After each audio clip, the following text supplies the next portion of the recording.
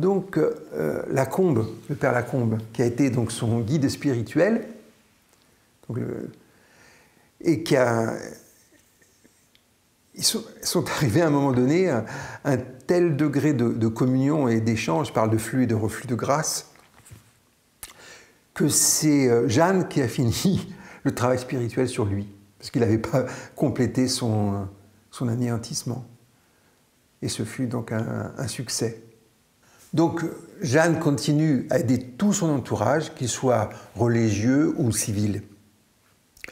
Et elle explique comment ça fonctionne. Le divin verbe opérait dans les armes, dans le silence profond. Alors vous voyez, c'est pas technique. Elle laisse passer le verbe dans le silence profond et ça opère comme ça doit. Je compris que Dieu voulait que les hommes puissent apprendre le langage des anges. Peu à peu, je fus réduit à ne parler qu'en silence. Nous apprîmes des communications et des opérations du Verbe pour réduire l'âme en son unité. Pour la plupart des gens, je ne faisais leur communiquer la grâce dont ils se remplissaient auprès de moi, dans le silence sacré, qui leur communiquait une force et une grâce extraordinaire. C'est pour rendre l'âme capable de ces communications qu'il faut qu'elle soit purifiée si fortement et si radicalement. Donc bon, c'est là où on est content d'avoir les techniques euh, de purification, régénération euh, du sage marg ou euh, de mutation des tendances avec Oponopono, et que, et que ça soit plutôt la force d'amour qui, opère et qui consume un peu toutes les impuretés, les tendances, l'ego, tout ça. Mais on parle quand même du feu de l'amour. De temps en temps, on le sent. Mais euh, on voit que, Jeanne, elle est tout à fait consciente au niveau de la communication. On a déjà vu de la résonance, donc c'est vraiment de la science quantique. Et elle dit euh, J'ai appris le secret de la fécondité et de la maternité spirituelle. Et comment le Saint-Esprit rend les âmes fécondes en lui-même leur demandant de communiquer aux autres le verbe qu'il leur communique. Vous voyez, c'est intéressant. ça se, ça se répand. Mais il faut avoir quand même une condition très, comment, très spéciale et avoir été purifié comme il fallait. On retrouve, ça c'est le travail des maîtres. Les maîtres spirituels, c'est comme ça qu'ils travaillent. C'est pour ça qu'il ne faut absolument pas travailler avec un, maître spirituel qui n'a pas fait son union euh, totale avec Dieu ou la réalisation du soi, c'est un, un, équivalent. Donc c'est là que Jeanne parle de maternité et de ses enfants qui sont en grand nombre, connus et inconnus. Elle dit, ceux qui sont les véritables enfants ont tendance à rester en silence auprès de moi je leur communique en silence ce que Dieu me donne pour eux. Dans ce silence, ils découvrent leurs besoins et leurs manques. Et je leur communique en Dieu tout ce qui leur manque. Elle ajoute, Lorsque je me sers de la parole et de la plume avec les âmes, je le fais à cause de leur faiblesse et parce qu'ils ne sont pas assez purs pour les communications intimes. Donc l'oraison de, Jeanne progresse. Mon oraison est toujours la même, une non-oraison, qui se fait pas en moi, mais en Dieu très simple, très pur très net. C'est un état de non-raison. Je ne puis rien dire à cause de la pureté. Il n'y a rien au monde de plus simple et de plus un. Tout est Dieu et l'âme n'aperçoit plus que Dieu.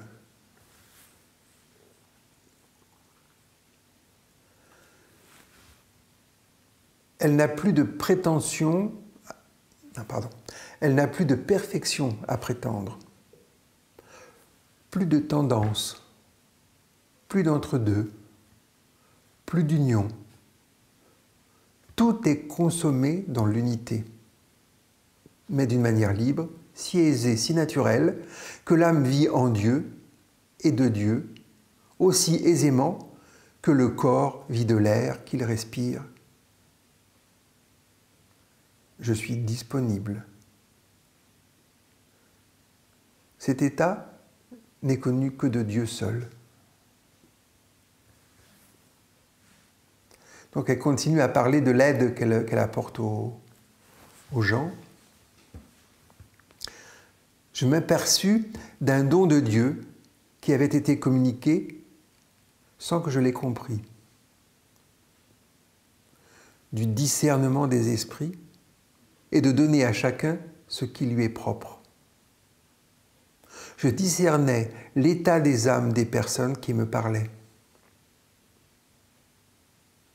Dieu me donnait de quoi les contenter sans que j'y pense, ni que j'y fisse attention.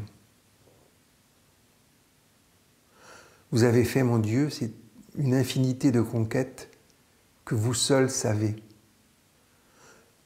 Deux, Dieu faisait de grandes grâces et opérait des changements merveilleux.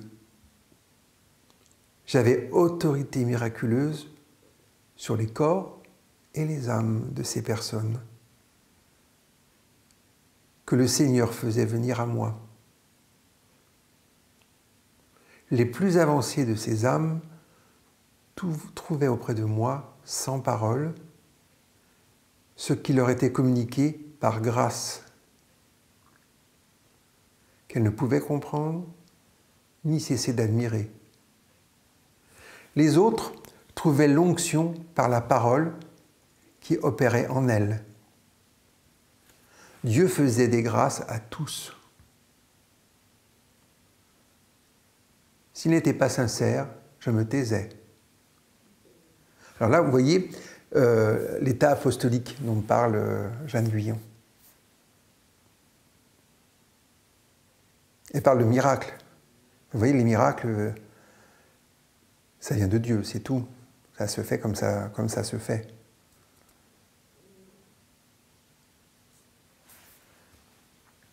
Elle nous dit, lorsque le Seigneur honore une âme de la fécondité spirituelle, il la nourrit et la soutient selon son degré. Donc on voit donc on l'a vu dans, son autobiographie, les étapes au travers desquelles elle passe. C'est pareil pour nous, tous. Il y a une croissance, on ne peut pas accélérer une croissance. Ça doit rester naturel. Donc, je reprends. Il nourrit l'âme, donc, et, et la soutient selon son degré. Pour les saints, le verbe est communiqué de manière centrale. Les communications coulent, pures et simples. Dès que l'âme cesse d'être rebelle, elle devient libre. La grâce est toujours présente et disponible si nous lui permettons de couler dans nos cœurs. Tout ceci nous rend simples c'est la complexité, la nôtre, qui nous coupe de la grâce divine. vous voyez le, travail de, purification qui est fait pour nous rendre cette pureté qui permet à la grâce de couler naturellement. Vous voyez, quand elle, évoque l'état rebelle que nous avons, bah, c'est l'état d'Adam euh, qui dit à Dieu, voilà, maintenant que j'ai tous les, tous les noms, tous les attributs, je connais tout, ah ben, je vais faire mon propre monde, ma propre création. C'est ce qui se passe sur Terre. C'est notre création. Et donc euh, Jeanne dit, bah, quand on a fini avec euh, cet état rebelle, je dirais c'est l'adolescence hein, de, l'humanité, euh, voilà, on dit, bon maintenant, on se retourne vers le Père, on dit, bon maintenant, qu'est-ce que je peux faire? J'aurais besoin d'un peu d'aide, parce que vous voyez, là, en ce moment, c'est pas terrible ce qui se passe. Voilà. pour ça, quand les personnes se rebellent, et disent mais comment c'est possible que Dieu permette ceci, cela et tout? Ben non, c'est pas Dieu, c'est les hommes. On l'avait vu avec euh, Soum quand elle, quand dit euh, ben voilà, ce que le nazisme, ce sont les hommes, c'est pas Dieu. Ah, mais pourquoi Il permet, ben, il permet rien du tout, il, nous laisse libres. Et à un moment donné, quand on en a assez, ben, on en a assez, on se, retourne, vers lui. Et pas vers lui à l'extérieur, vers lui euh, en nous. À ce moment-là, on est juste. Que faut-il faire pouvoir demeurer en silence en Dieu? Et que le Verbe opère en lui en silence. On va faire un petit exercice. Donc, fermez tout doucement vos yeux.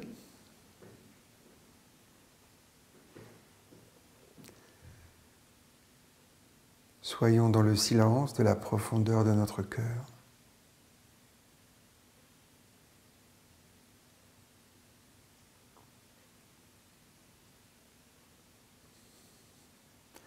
Soyons témoins du Verbe, de sa vibration subtile, si subtile qu'elle fait penser au vide.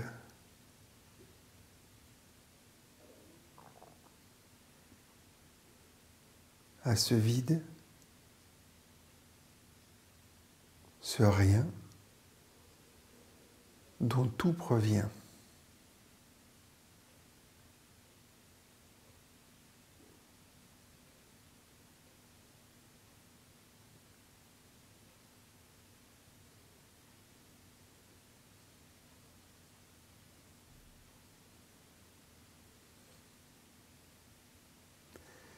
Écoutez le son du verbe.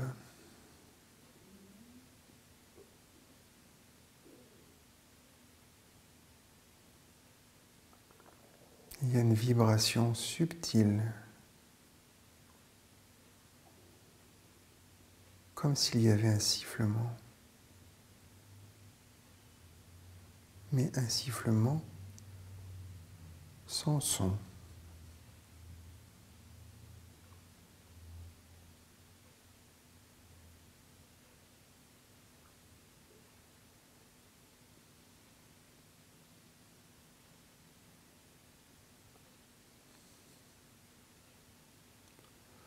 Vous ouvrez tout doucement les yeux en restant en contact avec le Verbe.